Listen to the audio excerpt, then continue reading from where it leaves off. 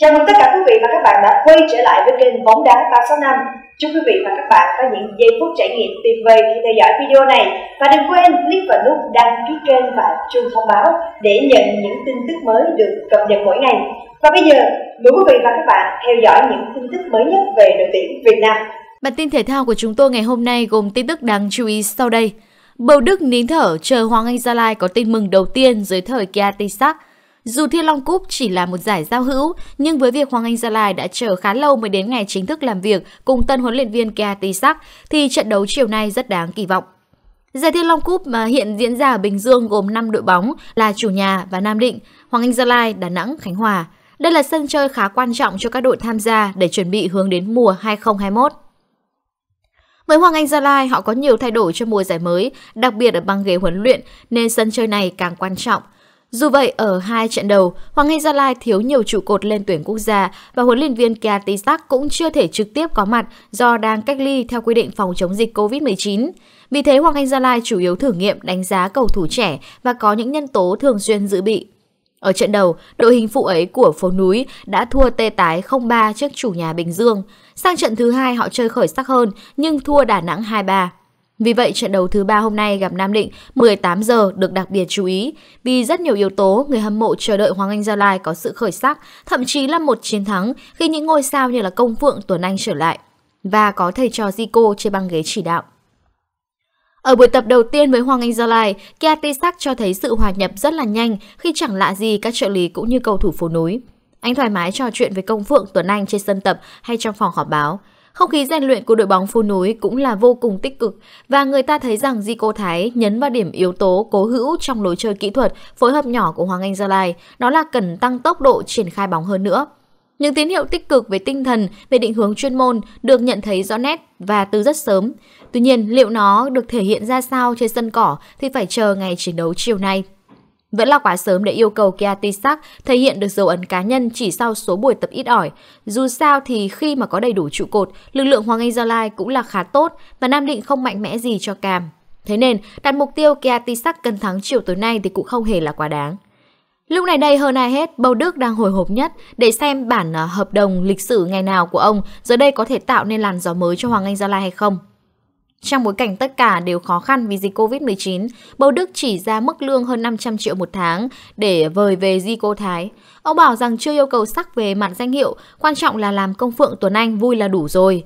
Nhưng đã chơi bóng thì phải thắng mới vui lâu được. Tin tiếp theo, hình ảnh dễ gây tủi thân cho thấy Park và món quà vô giá ở Việt Nam.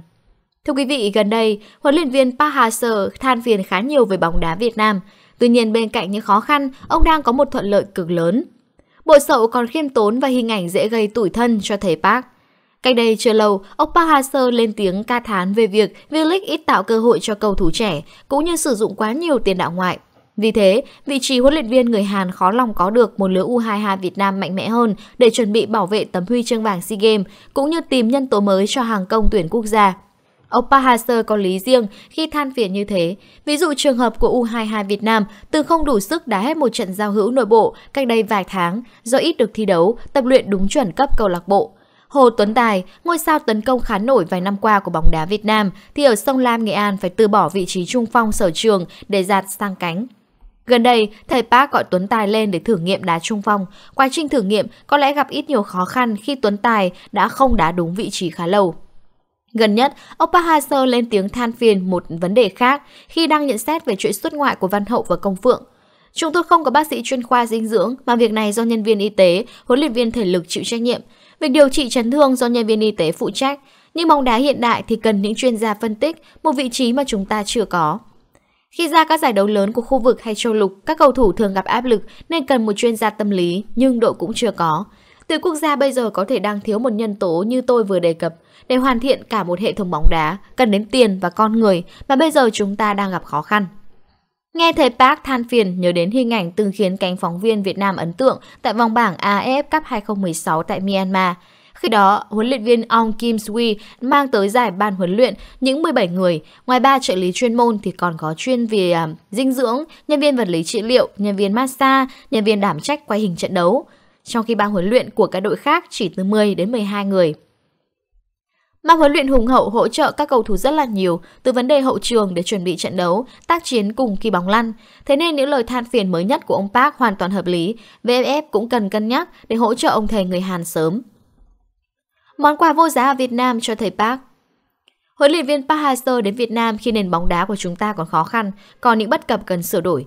Tuy nhiên, ông đến khi chúng ta có một lợi thế cực lớn, đấy là một lứa cầu thủ thế hệ vàng vô cùng xuất sắc. Ngay những nền bóng đá phát triển bậc nhất thế giới cũng không phải lúc nào cũng đều đặn duy trì được sự liên tục trong đào tạo trẻ để liên tục có những thế hệ tốt. Ví dụ Trung Quốc, dù đổ cực kỳ nhiều tiền vào bóng đá, nhưng họ vẫn đang đau đầu trong việc tìm ra lứa trẻ hay tuyển quốc gia mạnh mẽ như kỳ vọng. Ban huấn luyện đầy đủ, hùng hậu, có thể sớm đạt được nếu có tài chính tốt, nhưng để có dàn cầu thủ tài năng thì phải xây dựng hệ thống đào tạo trẻ rất tốn kém, phức tạp, sau đó là chờ ngày may mắn. Thế hệ ngôi sao Công Phượng Quang Hải đủ để huấn luyện viên Park sử dụng trong nhiều năm nữa là cơ hội để bóng đá Việt Nam tìm ra cái tên khác kế tục họ. Trở lại với câu chuyện của Malaysia tại vòng bảng AFF Cup 2016, dù sở hữu à, ba huấn luyện hùng hậu nhưng họ lại thiếu đi điều căn bản nhất chính là cầu thủ xuất sắc. Năm đó thì à, tuyển quốc gia Malaysia còn gồm nhiều con người từng gây ấn tượng năm 2014 nhưng đã lớn tuổi và xa suốt phong độ. Vì vậy những chú hổ đã bị loại ngay từ vòng bảng. Còn ở Việt Nam, nhiều khó khăn trên băng ghế huấn luyện, ông Park Hang-seo cùng học trò tài năng đoạt ngôi Á quân U23 châu Á và tứ kết ASEAN vô địch AFF Cup 2018. Chúng ta lần đó có huy chương vàng SEA Games vào năm 2019. Ông Park Hang-seo nêu ra nhiều khó khăn, nhưng tin chắc rằng ông hiểu mình đang có lợi thế gì.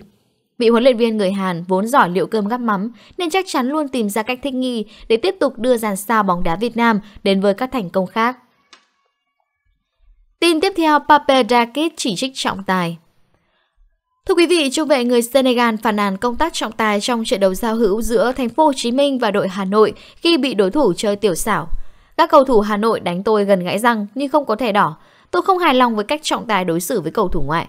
Tình huống ấy xứng đáng có thẻ đỏ. Pape Dakit chia sẻ với Dinh.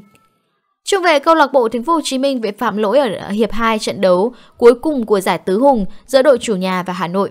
Trong pha tranh chấp bóng ở sát đường biên, cầu thủ Ngân Văn Đại của đội khách kín đáo giật cùi trỏ vào miệng Pape Rakit trong tài chính Vũ Nguyên Vũ rút thẻ vàng cho hành động chơi tiểu xảo của cầu thủ đội khác nhưng chưa đủ để Pape Dragic cảm thấy hài lòng.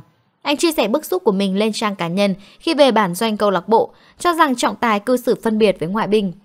Chia sẻ với Dinh, trọng tài Vũ Nguyên Vũ cho biết, Tôi tận mắt chứng kiến tình huống ấy, phạt cầu thủ câu lạc bộ Hà Nội thẻ vàng, đúng với mức độ hành vi, tình huống đó không đến mức phạt thẻ đỏ. Đây không phải lần hiếm hoi, cầu thủ người Senegal phản nàn về công tác trọng tài ở Việt Nam. Trong trận đấu giữa Hà Nội và thành phố Hồ Chí Minh vòng 1 giai đoạn 2 V-League 2020, Pape Dakit đã va chạm khiến Quang Hải ngã trong vòng cấm. Trọng tài thổi phạt trung vệ số 44 cho Hà Nội hưởng phạt đền. Dakit sau đó miêu tả người đồng nghiệp hành xử như một diễn viên.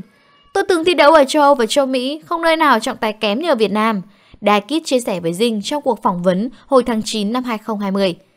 V-League vốn là giải đấu khắc nghiệt với ngoại binh, Pape Dakit đầu quân cho thành phố Hồ Chí Minh từ đầu mùa giải 2020, dường như anh cần thêm thời gian để thích nghi.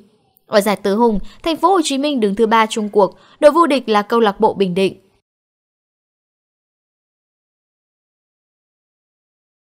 Cảm ơn quý vị và các bạn đã quan tâm theo dõi chương trình ngày hôm nay.